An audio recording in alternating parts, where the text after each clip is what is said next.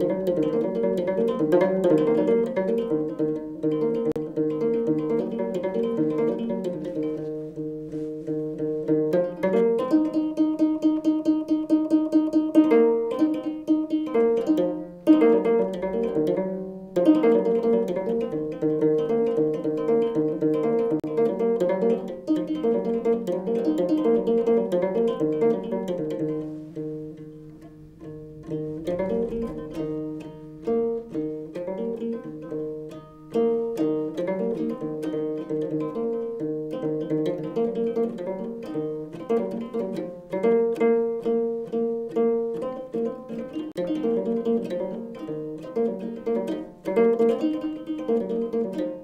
Is acute malnutrition? Acute malnutrition is a term used to cover both wasting and nutritional edema. Acute malnutrition results from a decrease in food consumption and or illness resulting in sudden weight loss or bilateral nutritional edema. A child aged 6 months to 18 years has severe acute malnutrition if the following is present. Mid upper arm circumference less than 11 centimeters or presence of pitting edema of both feet. A child aged less than 6 months has severe acute malnutrition if the following is present visible severe wasting or presence of pitting edema of both feet.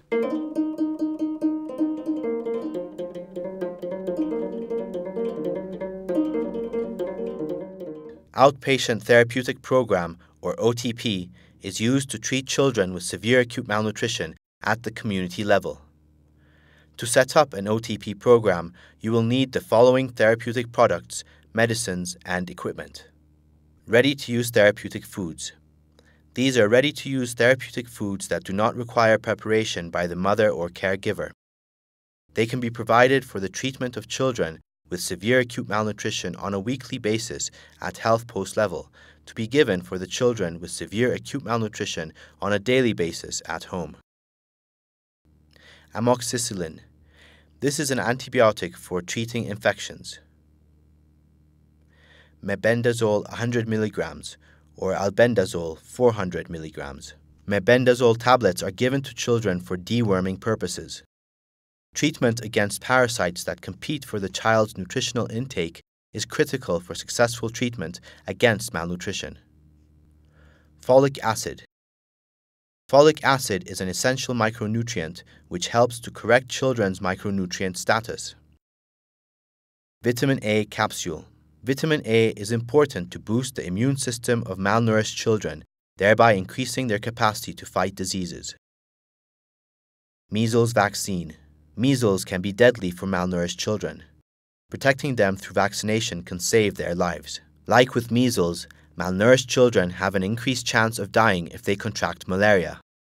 It is therefore important to be prepared to treat malaria if it does manifest itself. Plastic cups and a jerry can filled with drinking water should be available to last a month. Children should be offered drinking water when they are doing the appetite test for ready to use therapeutic foods. One Salter scale of 25 kilograms plus pants or plastic basin for weighing children is also required. You will need at least two mid upper arm circumference or MUAC tapes, which you will use to measure the mid upper arm circumference of children who come to be screened and for follow up. Mid upper arm circumference readings are accurate indicators of severe malnutrition in children between 6 months and 5 years old. You will need a thermometer for checking the temperature of children. Children with fevers may require referral to health centers for inpatient treatment. Jerry cans with water for hand washing purposes. You will also need a hand basin and at least one bar of soap per month to keep caretakers' hands clean during appetite test. Care providers should be informed to wash their hands before handling foods that will be eaten by children. It is also important that you have a clean latrine at the health post, which can be used by children and care providers when they come to the weekly OTP. Maintaining hygienic conditions will protect children from contracting illnesses like diarrhea, which can be deadly for malnourished children. Having a clean latrine at health post is also important for education purposes regarding hygiene. You will also need stationery materials for the OTP program. Each health post should have the OTP Quick Reference Manual. This manual is designed to provide guidance on each step of the OTP process and should be used to check on any procedures that you may have questions about. You will need OTP cards, which you will use to register and monitor the progress of children taking part in your outpatient treatment program. A registration book will be required where you will document children who enter and leave the program. You will need referral slips, which you will use to refer patients with medical complications to therapeutic feeding units or inpatient units. You will also need referral slips, which volunteer community health workers will use to refer children to the health post or OTP. Stock cards or supply register is required to track your use of supplies. You have to make sure the availability of adequate supplies before the date of the weekly OTP. Taking good care of your supplies is critical for your outpatient therapeutic program. Supplies should be placed in a cool and dry place. Place items on pallets and protect windows and doors against rodents. Maintaining the cleanliness of your working environment and supply storage area are critical factors for success. In order to monitor the OTP properly, you need to produce the timely monthly report using the monthly therapeutic feeding program report form. You have to send the report to the Woreda Health Office, keeping a copy for the health post.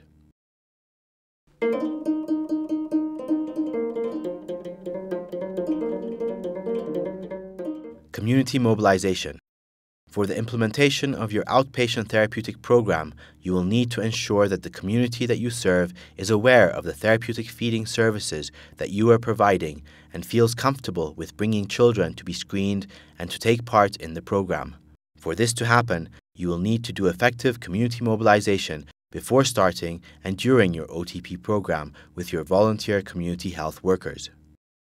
We are in SNNPR region, Alaba Special Woreda in Qobbo Qabale, and volunteer community health workers are explaining about the opening of OTP in the health post for the community leaders.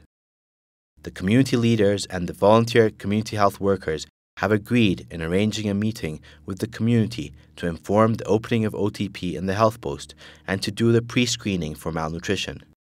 The volunteer community health workers, with the community leaders, go around the Gote and inform the community to bring their under 5 children for pre screening at the center of the Gote in the coming day. During the community meeting, the volunteer community health worker elaborates the causes of malnutrition for the community, stating that severe acute malnutrition is mainly caused by inadequate food intake and or illness. Severe acute malnutrition can be effectively treated at the health post level, and Alaba Health Post has already opened an OTP to treat the cases. In order to identify children with severe acute malnutrition, MUAC measurements should be taken and the presence of edema should be checked. Any suspected cases of severe acute malnutrition should be sent to the health post with referral slip for further evaluation and treatment. The volunteer community health worker is doing the pre screening, and those children with MUAC measurements of greater or equal to 11 centimeters and no edema are sent to their homes. The volunteer community health worker has found a child with mid upper arm circumference of less than 11 centimeters, but the child has no pitting edema. He will then inform the mother to take the child to Alaba Health Post for further evaluation and treatment. He also provides the mother with a referral slip, and the mother agrees to take the child to the health post. The volunteer community health worker has also found a child with edema. He checked for edema by pressing his thumbs into the swollen foot of the child. Thumbs leave indented marks, and this is a sign of severe malnutrition, and the volunteer community health worker refers the child for further screening and treatment at the health post. Home visits are good opportunities to identify children who missed the pre screening during the community meeting. During the home visit, the volunteer community health worker identifies one child who missed the previous pre screening. The mid upper arm circumference of the child is measured and it is less than 11 centimeters and has no edema. He informs the mother to take the child to the health post and provides her a referral slip. The mother agrees and takes the child to the health post.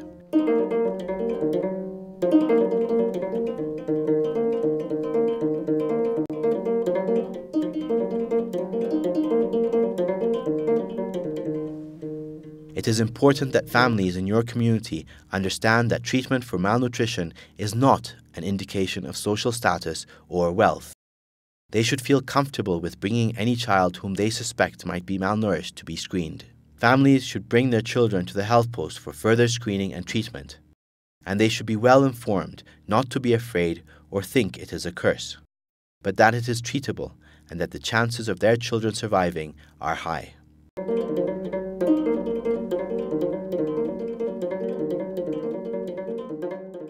It is very important that your first assessments of children are done carefully.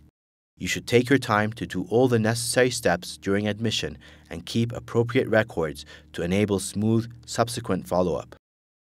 Mid upper arm circumference and edema detection are the most appropriate techniques to be used to detect severe acute malnutrition in a health post context. Weight is used to follow the progress of the admitted child and decide when to discharge him or her. Bilateral edema is a sign of severe malnutrition. Children with edema need to be in therapeutic feeding programs immediately. Only children with bilateral edema are recorded as having nutritional edema. In order to determine the presence of edema, normal thumb pressure is applied to both feet for 3 seconds. If a shallow print persists on both feet, then the child presents edema. Mid upper arm circumference is an alternative measure of severe acute malnutrition in children. Take the following steps to measure the mid upper arm circumference of a child. Ask the mother to remove clothing that may cover the child's left arm. If possible, the child should stand erect and sideways to the measurer. Estimate the midpoint of the left upper arm, straighten the child's arm, and wrap the tape around the arm at the midpoint. Make sure the numbers are right side up. Make sure the tape is flat around the skin. Inspect the tension of the tape on the child's arm. Make sure the tape has the proper tension and is not too tight or too loose. When the tape is in the correct position on the arm with correct tension, read and call out the measurement to the nearest 0.1 centimeter. Immediately record the measurement. Once you have determined that the child has severe acute malnutrition, you must check to make sure that they do not have additional complications and can be treated at your OTP.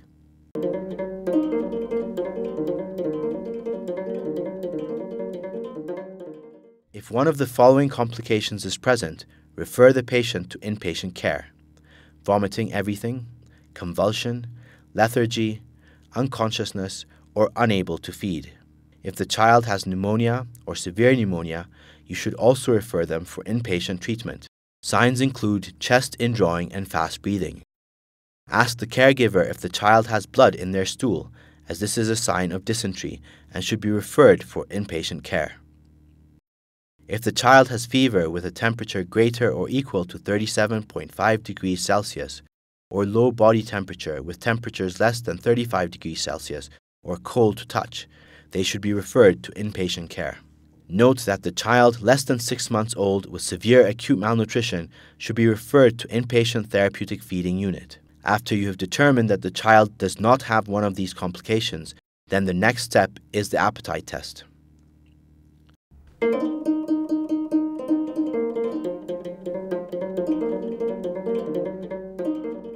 Appetite testing techniques. Appetite is a very important indicator of the clinical situation of a patient. A poor appetite means that the child has a significant infection or a major metabolic abnormality, such as liver dysfunction, indicating the need to be admitted into an inpatient facility. Moreover, a child with poor appetite is unlikely to take the amount of ready to use therapeutic foods given to him or her as a weekly ration. The appetite test should be conducted in a separate, quiet area. Explain to the caretaker the purpose of the appetite test and how it will be carried out.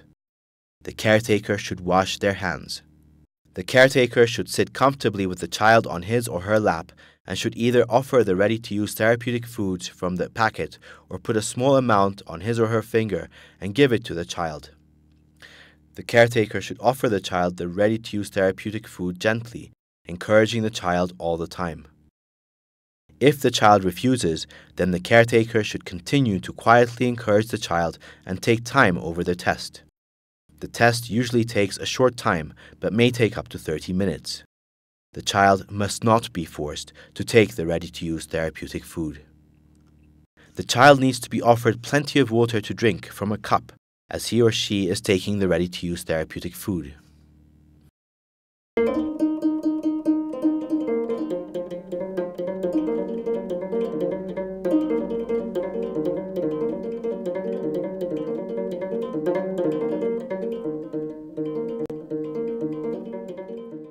Assessing, classifying, and taking actions.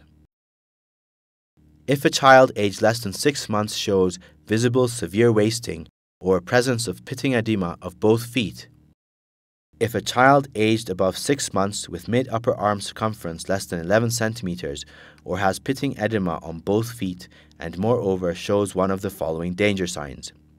Failed appetite test, pneumonia or severe pneumonia, blood in the stool, fever or hypothermia, low body temperature.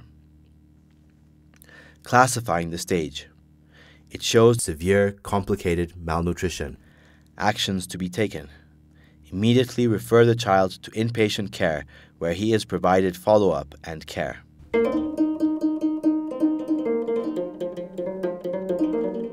If age 6 months or above and mid upper arm circumference less than 11 centimeters or edema of both feet and pass the appetite test, classify as severe uncomplicated malnutrition. Manage in OTP using the Health Post OTP protocol.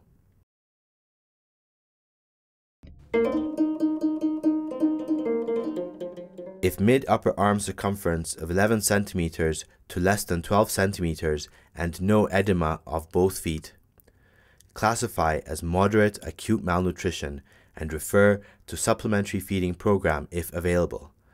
Counsel on child feeding and care.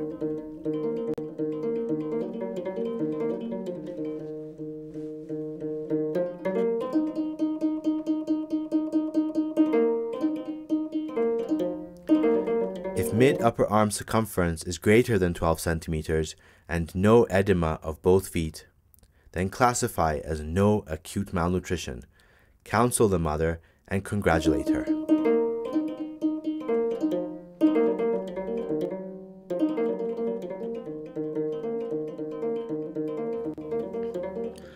OTP program admittance. You must first explain to the caregiver